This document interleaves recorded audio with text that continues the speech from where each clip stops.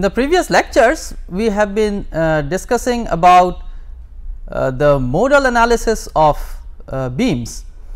And uh, what we observe uh, that even for simple um, configurations of, of beams or uh, simple beam models, you can have fairly complicated eigenvalue problem which we have to solve in order to uh, accomplish uh, modal analysis. So, uh, one would be interested in knowing if uh, there are approximate methods which can uh, quickly tell us uh, give an estimate of the eigen frequencies and the modes of vibration of a continuous system and for example, for beams.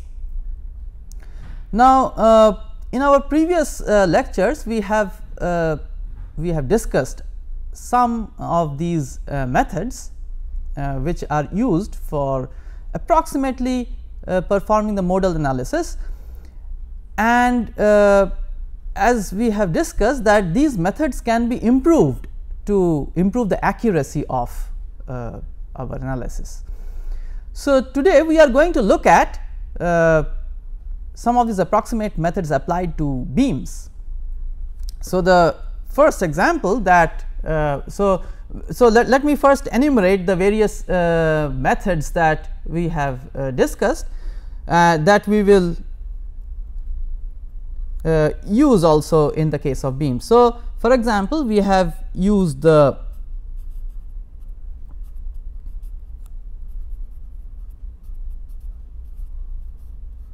Ritz method.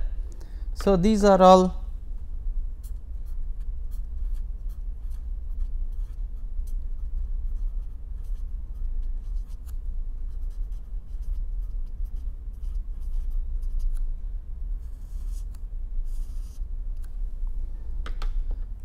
So, the Ritz method we have also looked at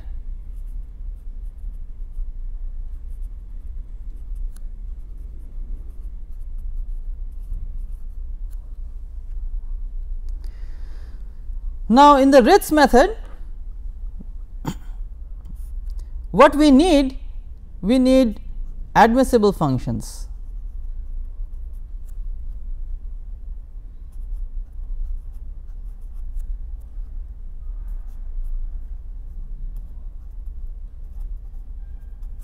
So, we expand the solution in terms of these admissible functions on the other hand for the Galerkin in the Galerkin method we use comparison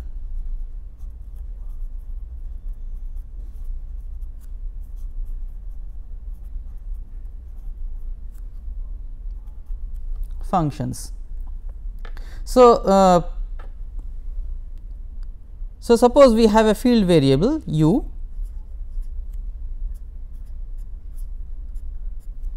that we expand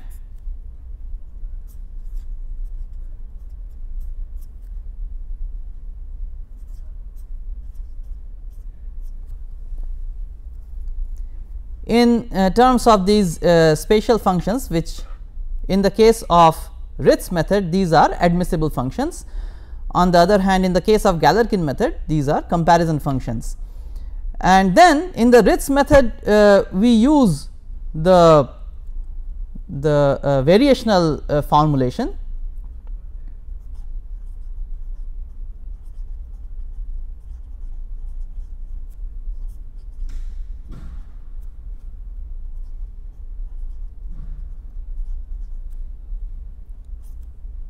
So, we substitute uh, or replace our field variable in directly in the variational formulation of the problem with this expansion, uh, while the in the Galerkin method uh, we do uh, we work with the equation of motion.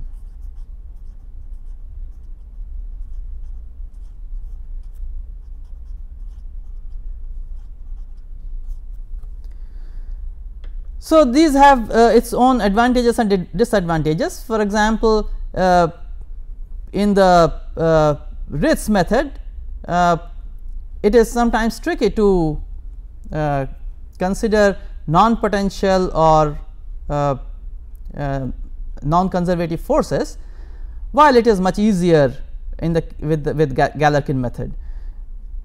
On the other hand for Galerkin method this comparison functions they have to satisfy all the boundary conditions of the problem uh, which are di more difficult to construct while these admissible functions must satisfy only the geometric boundary conditions.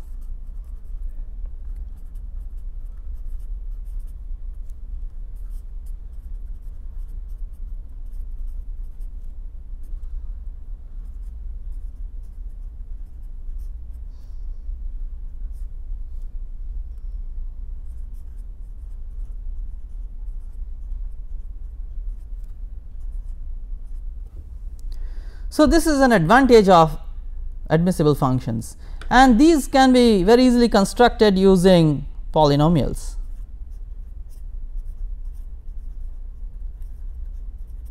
or trigonometric functions.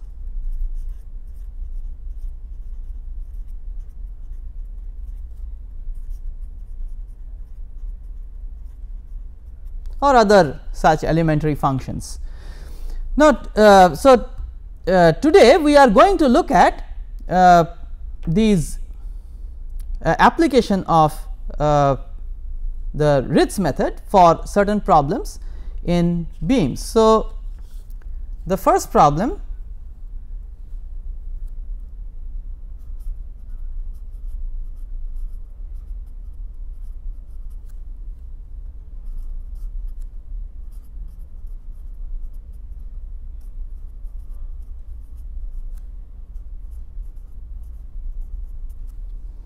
is that of the vibrations of a cantilever beam. So,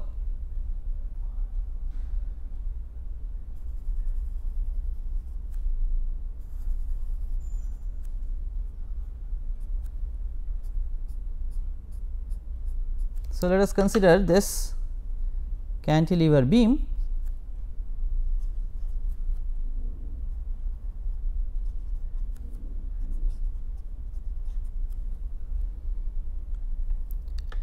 Now, the boundary conditions for this uh, beam we have discussed this before.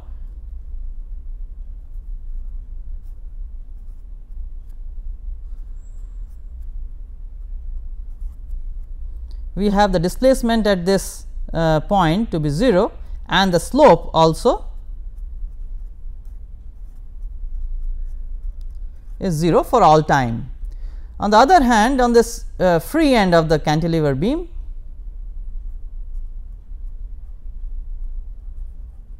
we have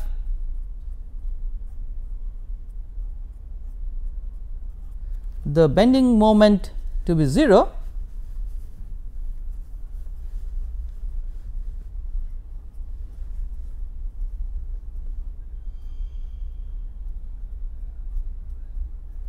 and we also have the shear force at this uh, free end to be 0. Now, so the so since we are applying uh, Ritz method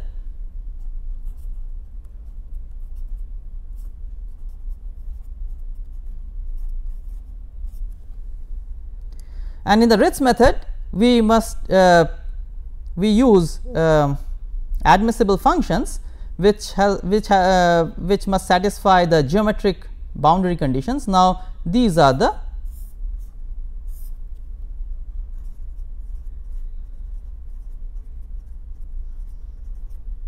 the geometric boundary conditions. So, whatever uh, admissible functions we choose they must satisfy uh, these conditions. So, let us consider admissible functions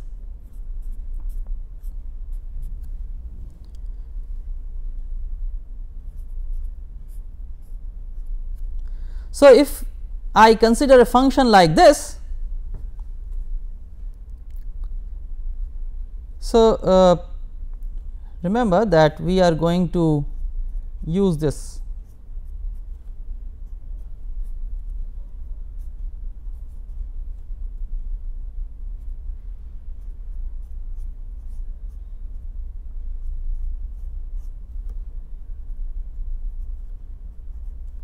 we are going to use an expansion like this. So, we must choose our our admissible functions which must satisfy the geometric boundary conditions of the problem. So, if we consider uh, this to be let us say linear in x then at x equal to 0 this is satisfied. So, psi 1 at 0 must be 0, but when we look at this boundary condition which is a slope condition so, del del x of psi 1 at x equal to 0 must also be 0, but if we choose a function like this then this boundary condition will not be satisfied. So, from these considerations one can easily uh,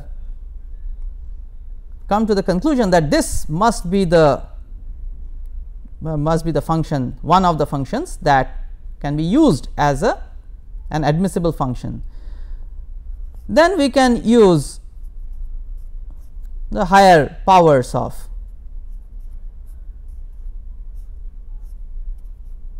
etc. So, uh, let us first begin with only a two term expansion. So, which means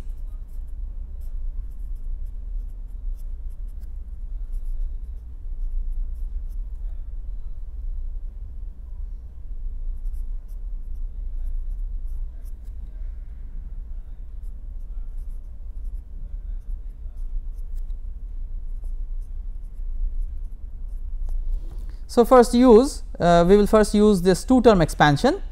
Uh, so, a 1 and a 2 are the two uh, temporal coordinates. Next we uh, introduce this expansion in the Lagrangian which reads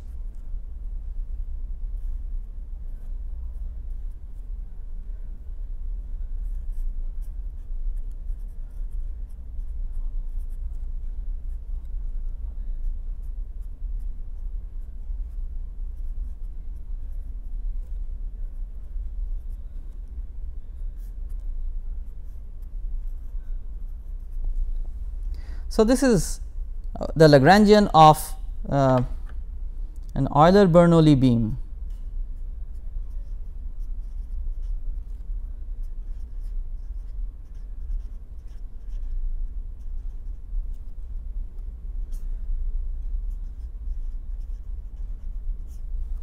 So, let us consider an Euler Bernoulli beam.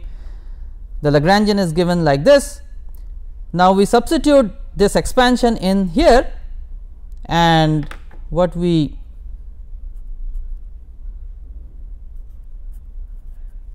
obtain if you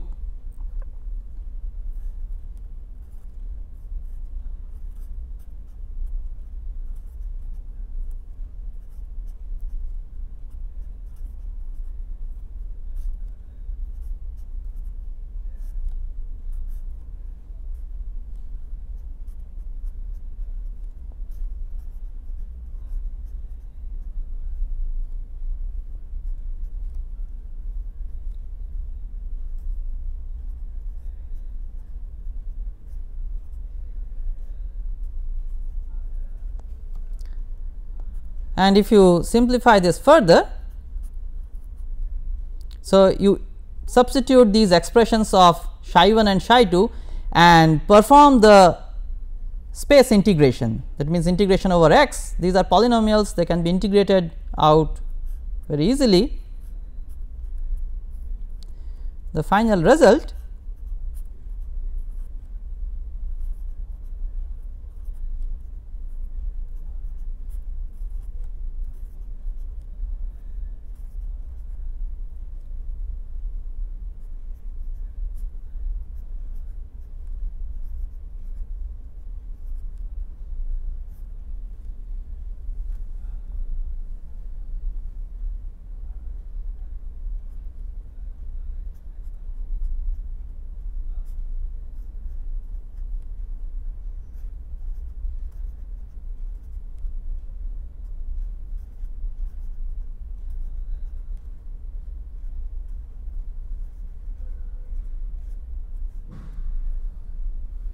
So, this is the Lagrangian that you have. Now, this is the Lagrangian of a discretized system with coordinates a 1 and a 2. Now, we can write down Hamilton's principle for this.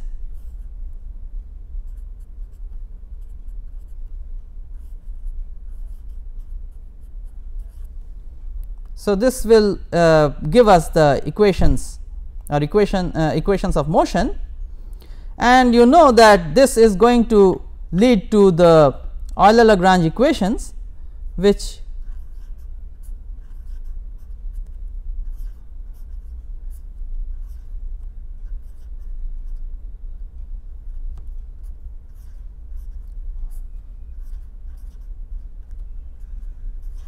So, these are the equations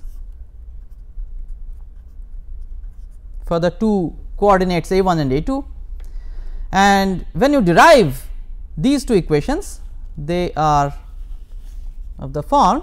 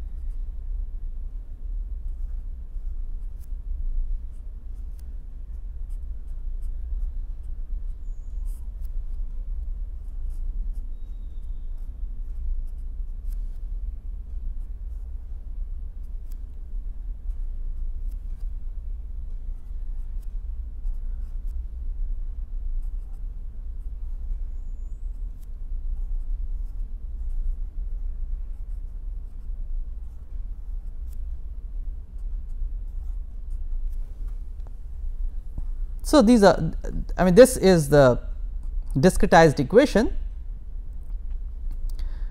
for the cantilever beam. Now, we perform the standard modal analysis for uh, this discretized system and we can calculate the eigen frequencies, the circular eigen frequencies and the modes of uh, these eigenvectors which can be used to determine the modes of uh, vibrations. So, let us first look at the eigen frequencies. So, when you do this calculation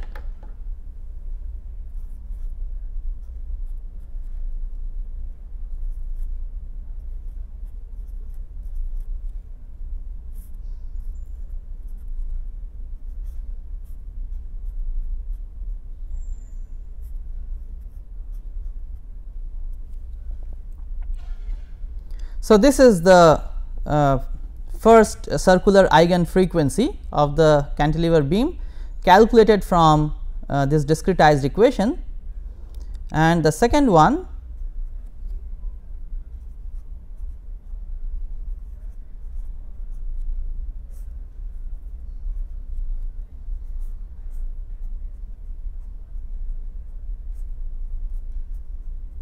is obtained like this. Now, if you uh, do the exact calculation, so which we have discussed before. So, this is the exact this turns out to be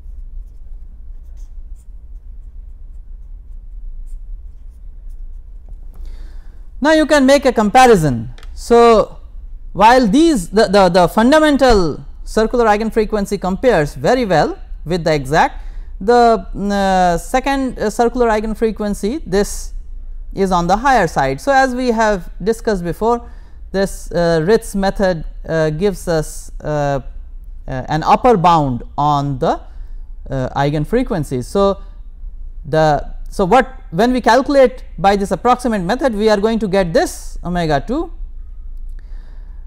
Now, what this tells us is the actual eigen frequency is less than this value. Similarly, here also you can see the actual eigen frequency is less than this value. So, this is this is an upper bound uh, property of uh, uh, this uh, eigen frequencies calculated from the Ritz method. Now, let us look at the eigen functions. So, when we substitute here we are going to calculate omega and a.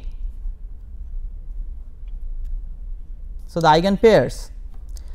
Uh, so, we are going to get these eigen vectors and using these eigen vectors we actually construct our eigen functions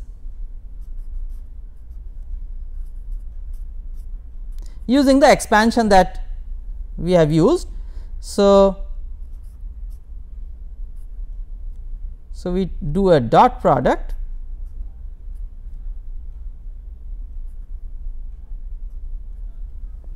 So, the first eigenvector that we get with uh, corresponding to omega 1 which is a 1.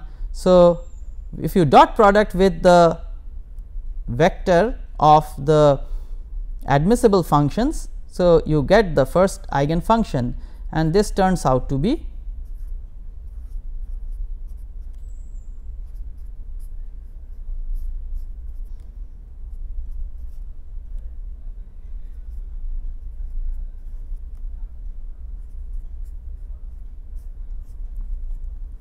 So, this a 1 vector is actually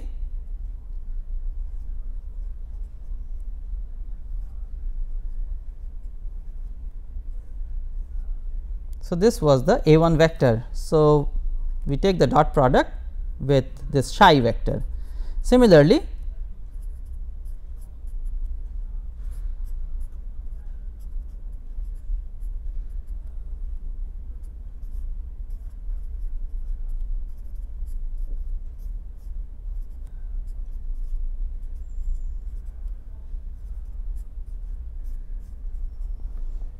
the a 2 vector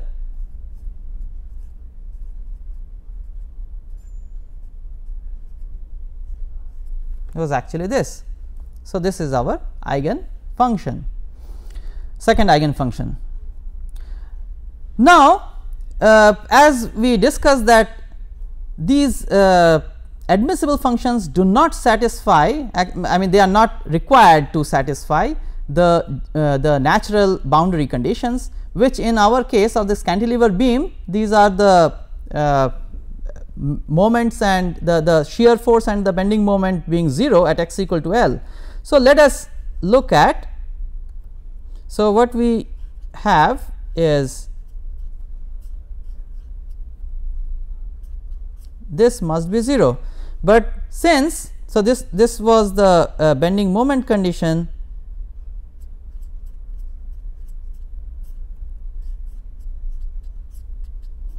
this was the shear force condition. Now, let us see how well these eigen functions uh, satisfy these conditions. So, if you calculate for example, W 1 double prime at L that turns out and and divide this by W 1 at L that turns out to be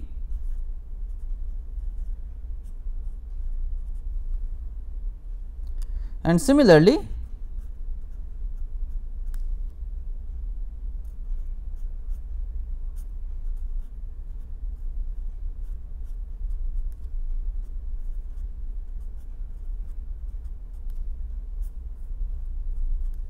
So, we are trying out with the first eigen function we take double derivative of that and see how close to 0 this is. Now, as you can see with increasing length of the beam this is going to go to 0 quite fast and similarly for the uh, the shear force. Similarly, you can do for uh, W 2 the second eigen function. but since our we are more confident about our first eigenfunction. So, here I have uh, taken this example of the first eigenfunction. Now, uh, but I mean this may or may not be satisfactory for the purpose. So, uh, what we can try out is we can increase the number of terms in our expansion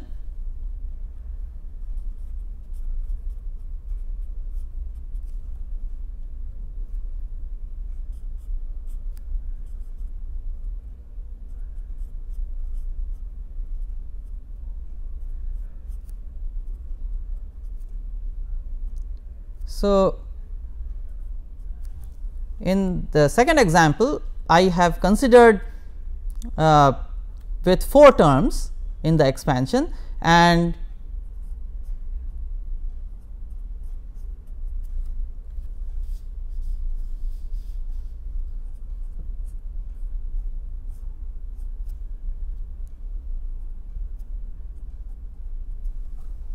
I have uh, taken the admissible functions in this form. So, psi 1 is uh, the square of x over L. So, I have go gone up to uh, 4 terms in this expansion and when I calculate the in the uh, following the procedure that we just discussed if you calculate this uh, eigen frequencies. So, this turns out to be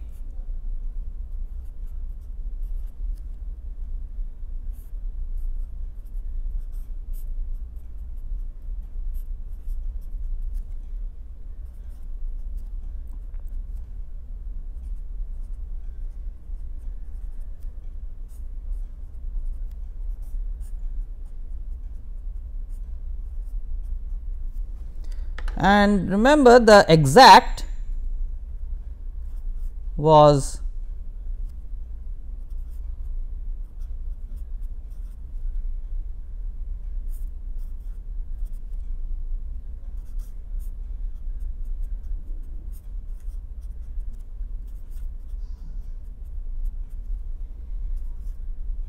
so this one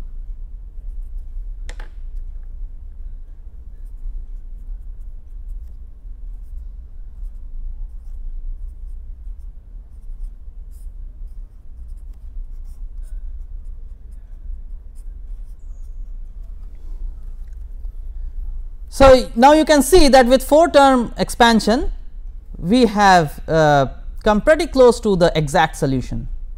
And now once again uh, if you calculate the first eigen uh, function this turns out to be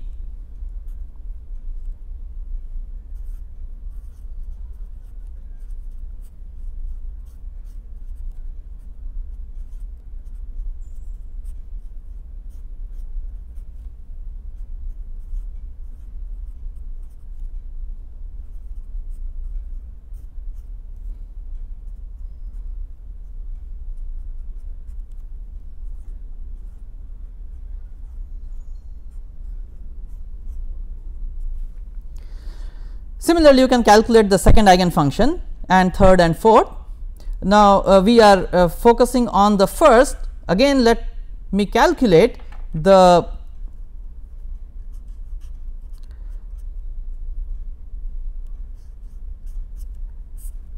this ratio which will tell us how far the uh, the natural boundary conditions are satisfied at the free end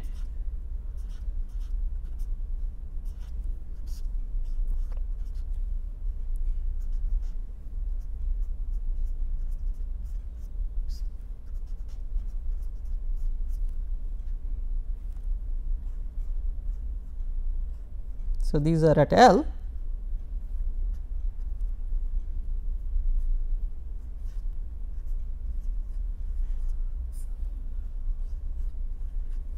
So, now you can see with in, uh, increase in the number of terms in the expansion even the natural uh, boundary conditions at the free end which are the bending moment and the shear force uh, they are also going to 0 uh, quite rapidly. So, uh, so as you increase the number of terms in the expansion, you are going to get accurate uh, solutions of the eigen frequencies as well as the uh, eigen functions will also get more and more accurate and they are going to automatically satisfy uh, uh they, they will tend to satisfy the, the natural boundary conditions which you have neglected uh, while doing this expansion. Now, let us look at this the, these eigen uh, functions which I have uh, plotted here.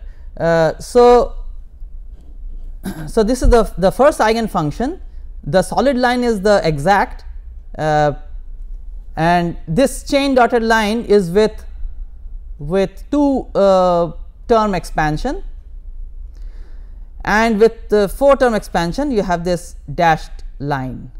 So, you can see that uh, the the eigen functions they also tend to uh, go close to the exact eigenfunctions which we have discussed in, in one of our previous uh, lectures. Now, let us uh, go over to a, a, second example. This example is of a plane frame. So, let us look at this plane frame.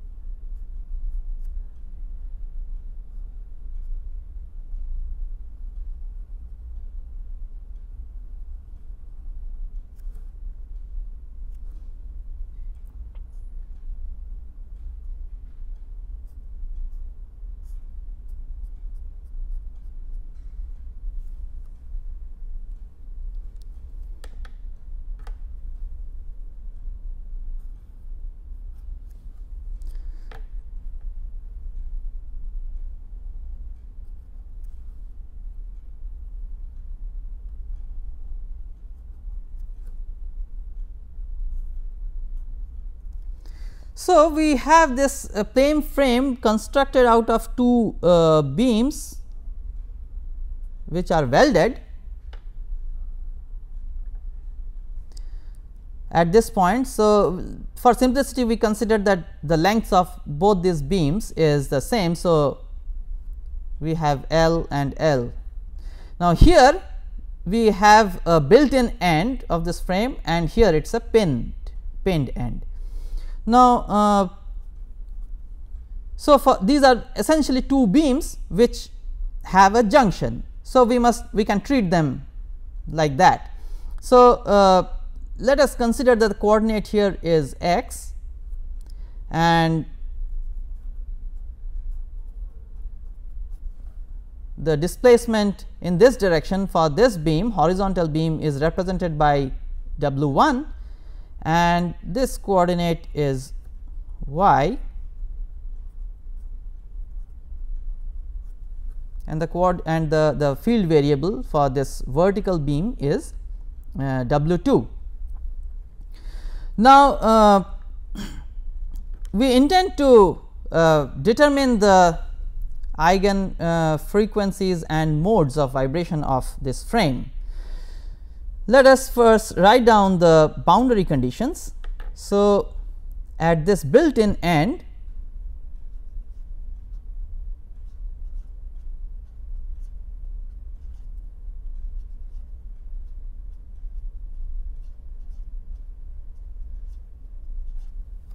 So, these are the boundary conditions at the built in end at the pinned support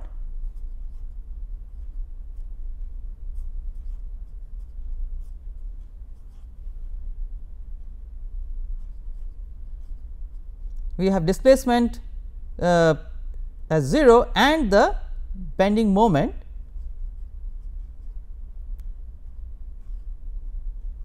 so the coordinate is y.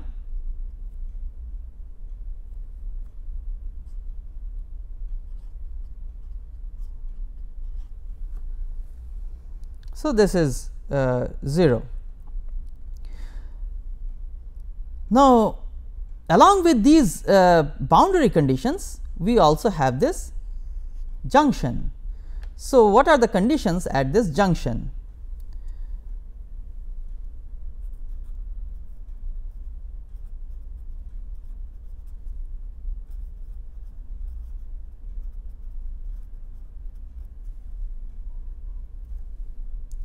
So, the first uh, condition say if we consider this beam the horizontal beam then there cannot be any uh, any vertical displacement of this beam at this point assuming that there is no axial uh, or this this beam is actually rigid. So, there is no uh, axial displacement at this point. In that case this point of the horizontal beam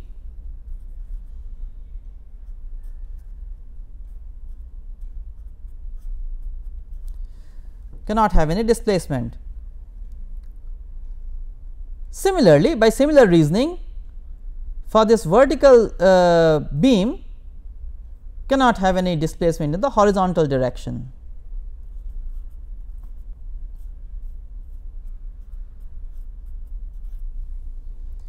Now, since this point is welded, so these two beams are welded at 90 degree. So, under deflection as well this angle has to be maintained which means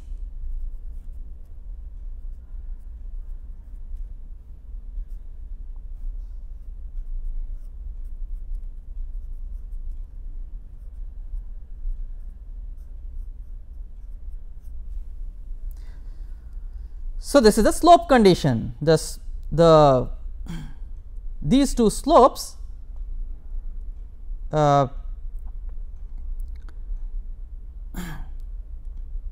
they uh, must must uh, maintain a, a, certain relation. The second condition is on the bending uh, moment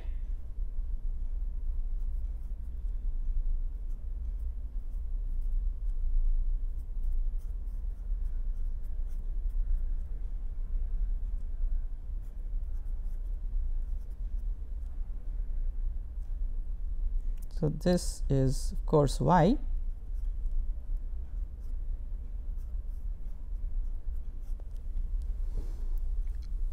So, there must be an equilibrium. Uh, so, from those considerations we can obtain this bending moment uh, condition at this junction. So, so now we have all the conditions required for uh, this uh, plane frame. Now, let us identify the, the geometric boundary conditions.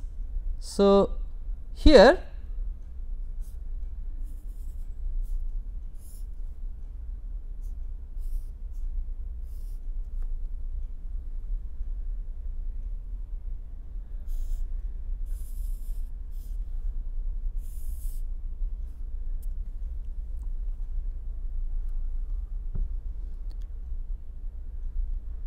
So, these are the geometric boundary conditions for the problem. So, we must satisfy. Uh, so, when we are following the Ritz method, we have to satisfy uh, these geometric boundary conditions and the others the natural boundary conditions uh, are not so much essential. So, so let us uh, now consider this expansion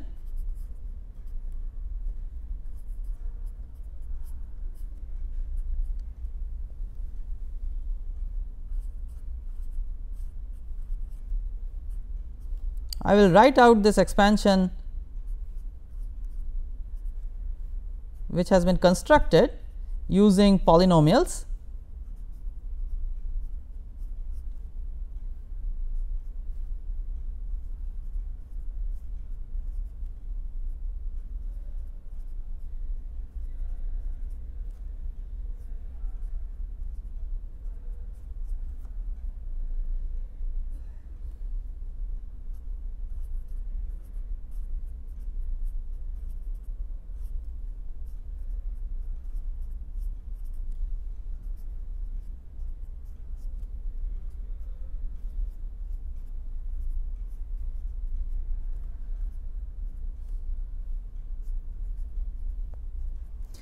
etc. So, there can be various ways of constructing uh,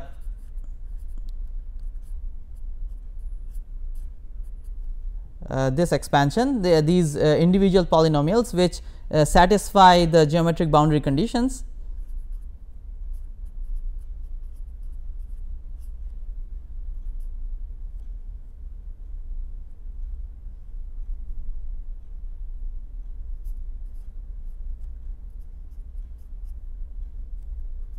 So, these are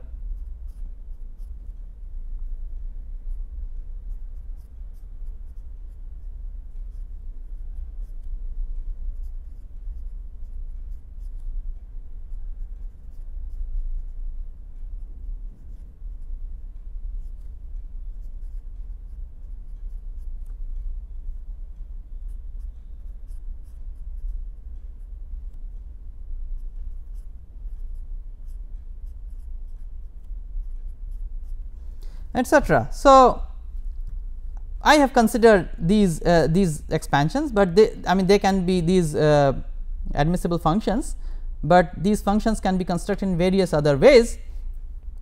Now, using these expansion uh, these two expansions of the field variables we write out the the Lagrangian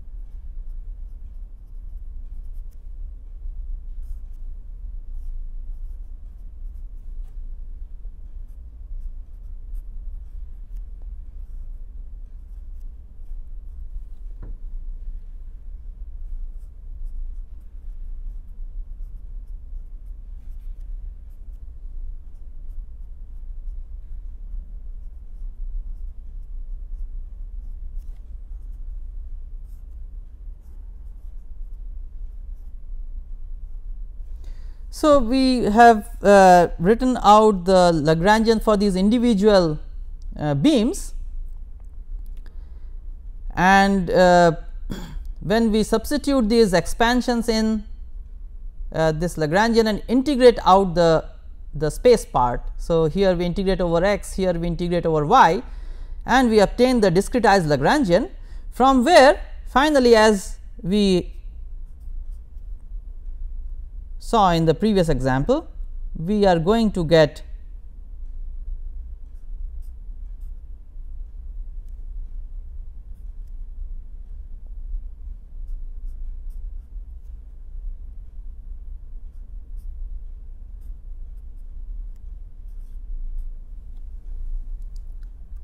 the discretized equation in this form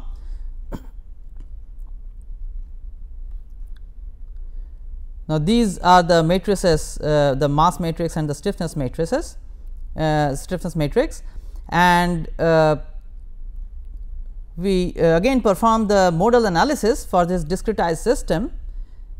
And if you do that then the result for the first two modes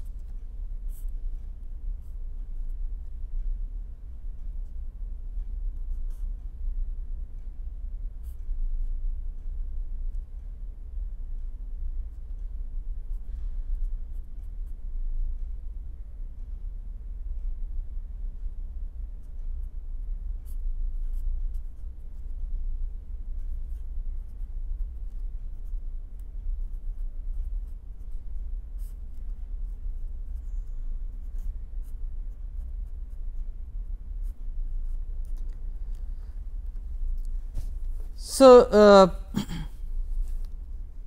these are the, the first two uh, circular eigen frequencies of the system which uh, has been calculated uh, using this Lagrangian and the expansion that I discussed just now. So, uh, this uh, figure shows the the first two modes of vibration of this plane frame. So, you can see that so, so this is the fundamental uh, uh, frequency and the corresponding eigen mode of vibration. So, you can see that this angle of 90 degree is being maintained in both these cases since we have uh, chosen our admissible functions which satisfy these uh, these uh, geometric boundary conditions already. So, uh, so this was an example of a plane frame. Uh, next we uh, look at this uh, Timoshenko beam which is a little more uh, sophisticated model for beam which considers also um, the, the shear deformation of the beam. So,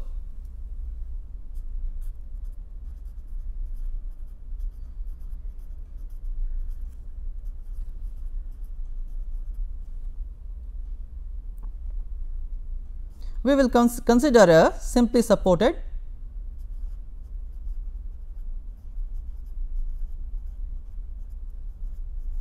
Timoshenko beam.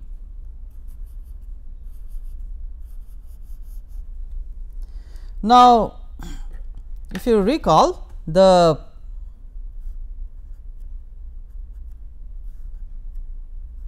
the Lagrangian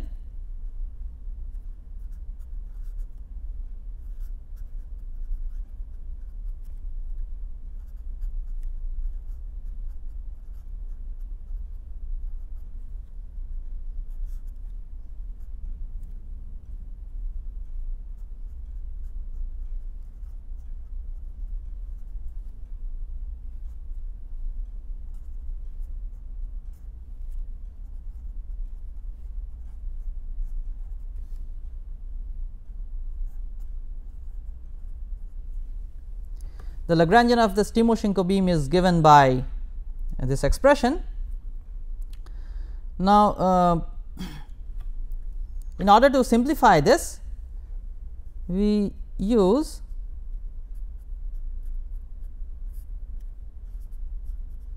the definition of the shear modulus and we also define what is known as the slenderness ratio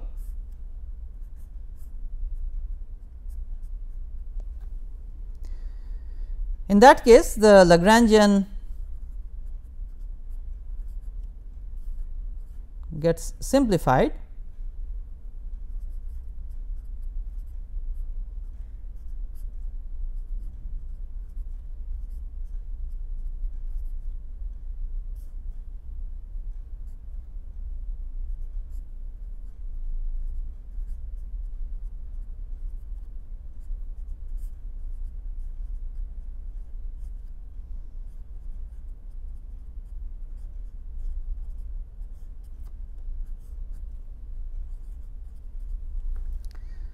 So, with these, these definition and uh, we, we can uh, take out the material constants out and simplify. So, this actually is L tilde. Now, we can uh, let, let us look at the boundary conditions of a simply supported Timoshenko beam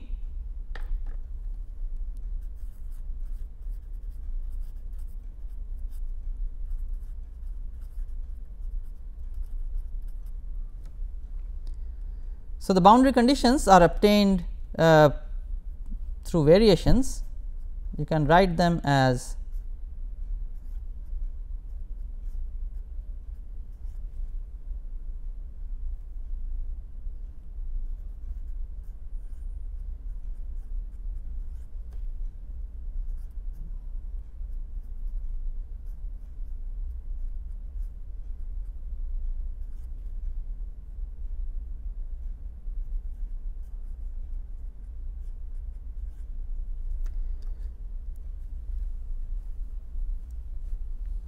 So, these are the geometric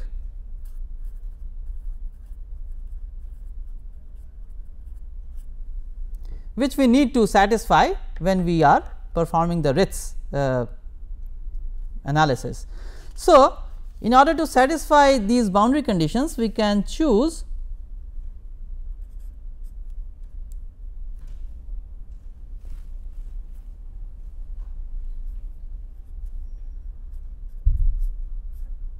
we can expand these uh, field variables. For example, psi can be expanded as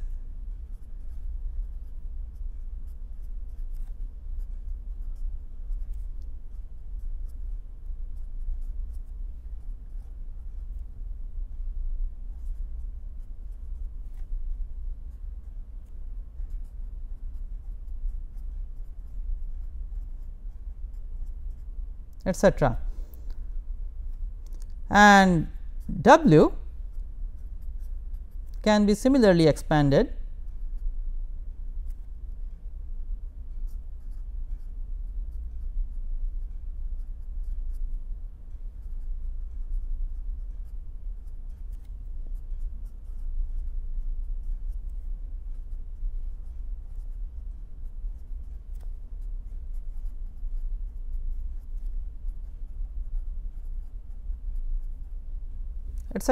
So, you can see that these boundary conditions actually can be satisfied. So, psi for example, can be satisfied by using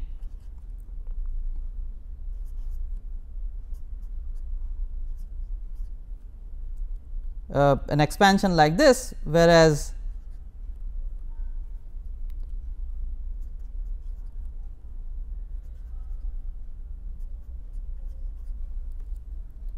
So, if the length is L then one can use uh, the expansion like this. So, so using uh, uh, these uh, admissible functions we have expanded the field variables and finally after applying the variations etc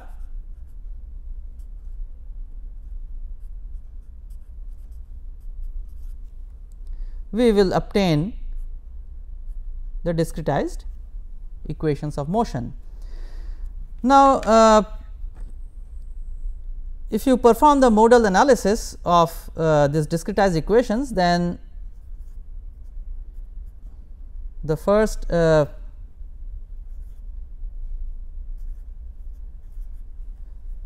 non dimensionalized uh, circular eigenfrequency is obtained as 0.612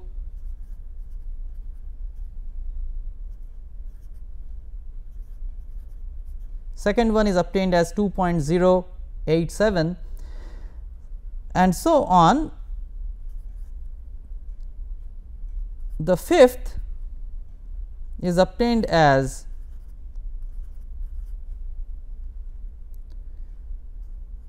Nine point eight eight nine. The sixth is obtained as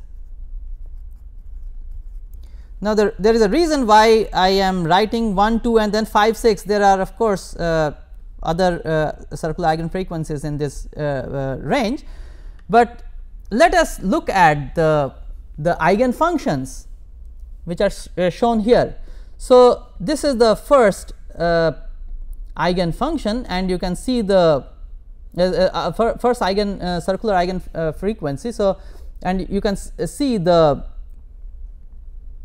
the mode of vibration in the first uh, mode for the Timoshenko beam. And similarly, this is the second uh, circular eigen uh, frequency and the second mode of vibration. So, this uh, these two look very similar to a normal uh, beam. Now, let us look at this fifth and the sixth. Now, here there is hardly any transverse uh, displacement, it is very small not visible in, in this in this figure these are actually the shear modes of the Timoshenko beam and these frequencies are substantially higher. So, uh, what we have looked at in this lecture today, we have uh, uh, discussed about the approximate methods for modal analysis or for discretization to, so to say we can discretize the equation of motion of the beam and uh, we have used the Ritz method for discretization. Uh, one can also use the Galerkin method in a similar manner. Uh, the only thing is in the Galerkin method since we uh, use um, comparison functions. So, they are little more uh, cumbersome for, for, for, cal for calculations to construct uh, on the other hand the Ritz method we have seen the, the, the admissible functions are very easy to compute and if you increase the number of terms in your expansion then you can also satisfy the or, or you can also uh, make this uh, this natural boundary conditions which are neglected while constructing the uh, admissible functions. So, you can make uh, uh, these natural boundary conditions also uh, to, to be 0. So, so the satisfaction of the natural boundary conditions. So, you uh, with increasing number of terms you can uh, satisfy these natural boundary conditions better. So, uh, with that we conclude this lecture.